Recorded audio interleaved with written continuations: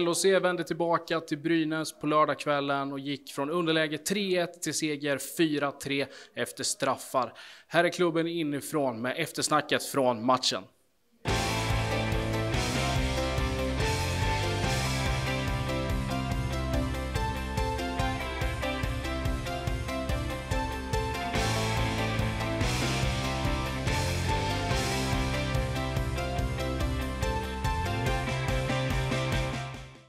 När Marcus Ljung kvitterade till 3-2 med blott tre sekunder kvar av den andra perioden, då var Alexander Johansson med i förarbetet.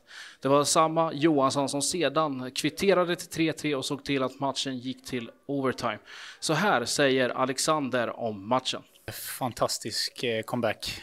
Eh, det var eh, underläge egentligen, tycker jag, både på tavlan och, och psykiskt i den här matchen. Jag tyckte vi eh, kände som eh, uppförsbacke och vi fick kämpa oss lite för att ta oss in i matchen. Men eh, så himla gott att bara komma tillbaka och få med oss eh, bonuspoängen. Vi hittar ju någon, någon slags styrka. Eh, vad, är det, vad är det du tycker som, som gör att vi, vi vänder till slut på den här matchen och vinner efter straffen? Eh, så eh, man kan nog hitta rätt många små detaljer i spelet som eh, tippar över till att vi kommer tillbaka. Men andra perioden så börjar vi grisa ner händerna lite, skita ner oss, ta oss in i de jobbiga områdena och få lite utvisningar med oss. Powerplay eh, steppar upp och, och får de här målen och givetvis eh, Mackans eh, mål med tre sekunder kvar av andra perioden. Det sätter ju en psykologisk prägel på sista perioden kanske. Så men det är, vi håller oss till det som vi har sagt. Vi, eh, vi börjar hitta ett grundspel som vi är rätt trygga med och det är få som faller ur den ramen och då kan man stå sida vid sida vid varandra och, och förlita sig på att eh, 60 minuter spelat så kommer vi vara med i detta. Så ja, det är starkt. Mot slutet av tredje så kommer kvitteringen. Det är du som gör det och du plockar fram ett gammalt klassiskt dragskott. Vad, vad säger du om målet? Nej, det, ja, jag får den av Jonte egentligen, eh, Junland och eh, ha lite tid till backen och se att eh, det finns en eh, liten lucka mellan hans ben och ja, det var som eh, Jimmy brukar säga, löst och lurigt. Så ja, det var välplacerat, inte så hårt, men eh, det var otroligt skönt att den gick in och, och kunna hjälpa laget i, i det läget. Så det är jag tacksam för. En annorlunda vecka på, på många sätt för våran del. Hur skönt är det någonstans att, att ändå kunna avsluta den på en high note? Ja, det är ju fantastiskt. Det var som du säger, det var mycket, mycket låga punkter där som, som inledde veckan liksom med mycket osäkerhet och på största allvar också. Eh, man tar sig någon slags torktumlare där man åker fram och tillbaka. Man vet inte vad det kommer bli. Är det paus i mer än två dagar? Är fler sjuka?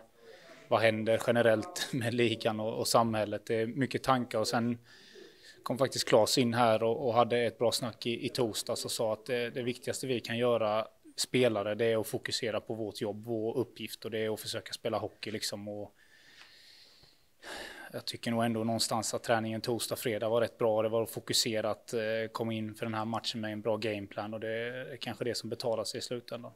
Matchen gick till avgörande efter straffar och väl där så var Robert Lantosi iskall och satte två straffar, vilket gav bonuspoängen till Linköping. Uh, I mean, uh, it's, it's not about the not about the penalty shots. It's about the about the whole game and uh, we like uh, how we fought back. Uh, we came came back from three one, and uh, I was really happy that that coach puts puts trust in me, and uh, really happy that I could uh, score that those goals. Fyra straffar, fyra mål. Det är ganska bra facit. um, I mean, it feels good. I'm uh, when he puts me out there, when the coach puts me out there, I'm just trying to score, and uh, yeah, that, that's what I'm trying to do. Du, eh, hur går vi vidare härifrån nu då? Eh, det blir en, en skön avslutning på den här veckan.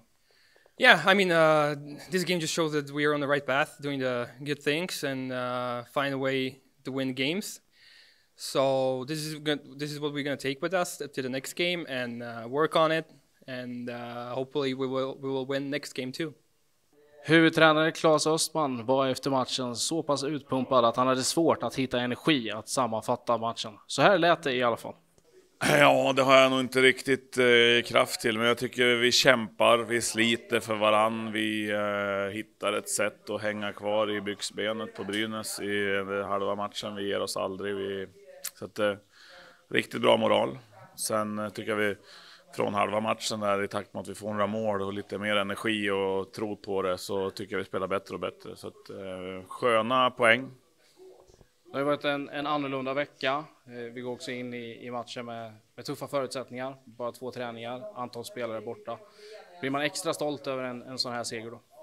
Ja, det är klart. Eh, alla, eh, menar, vi vet att vi hade tuffa förutsättningar och vi fick en tuff start och hittade ändå ett sätt att komma tillbaka. Så vi har ett lugn där vi, vi, vi förriver oss inte och det kanske inte är så vackert men eh, vi hittar ett sätt och det, det ska killarna ha en all heder av. Viktiga mål, eller framförallt viktigt mål Marcus Ljung där med tre sekunder kvar av andra perioden. Vad ger det för skillnad när man ska gå in i tredje, att det bara är ett måls skillnad istället för två? Ja, det, det var ju superviktigt för oss. Det kändes som att vi, när vi hade gjort 2-1 där och vi fick lite eld och sen så lyckades vi eh, strula till det för oss och släppa in 3-1 där så kändes det som att, ah, undrar om vi klarar av det här nu. Så att den, eh, det målet betydde mycket. Jag tycker Marcus var eh, eh, riktigt, riktigt bra för oss där ute. Han gör mycket saker som inte syns på isen också. Han håller eh, håller sin kedja i schack och han är klok och lugn och, och metodisk i sitt sätt att vara i båset och, och sådär. Så att han är en riktig ledare för oss. Jag är glad att han får, får vara med och producera offensivt också för att eh, han är väldigt bra nu.